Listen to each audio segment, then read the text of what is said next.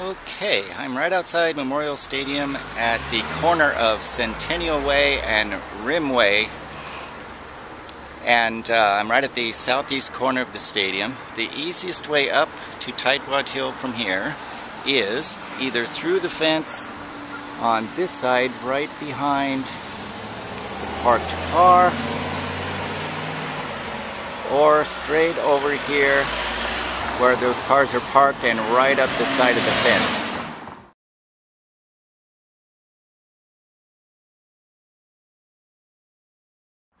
Okay, right now I'm standing at the small parking lot right across the street from the rugby field and this is where the easiest way to get to the Tightwad Hill uh, begins. There's a path right here which we can easily follow. It's well worn I'm going to do that right now.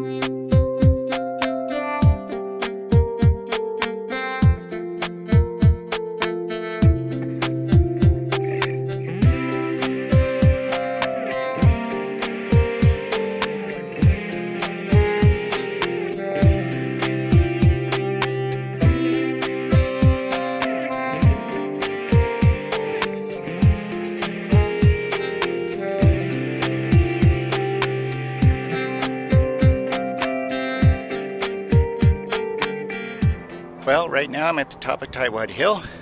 Should be able to see the stadium behind me. This is uh, a great spot to watch the game. You have a full view of all the field. A little light pole in the way, but nothing more than that. It's only a, about a minute or two walk, but it is pretty steep. Uh, but well worth the effort. I'm now over where the cannon sits, and this is the view they have from there. It's a pretty fun little walk from uh, where you normally watch the game on Tightwad Hill over to this spot where the cannon is. Uh, but it's worth the effort.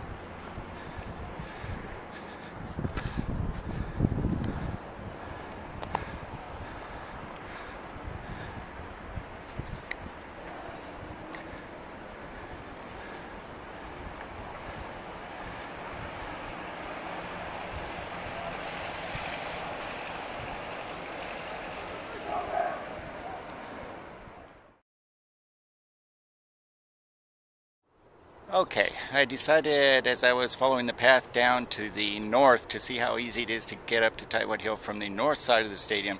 I just followed the path, the big wide path that they use to move the cannon uh, in and out. And there's a fence there with a big wide hole in it, big enough to move the cannon through. And I just followed that on up the hill. There's a little small, well-worn path that goes straight up the hill. And I'll go up uh, to the big C if I don't run out of energy first. But I was just looking up here at the view down there. That's the most amazing view down there, and it would really be great uh, when the sun was setting to come up here and watch that.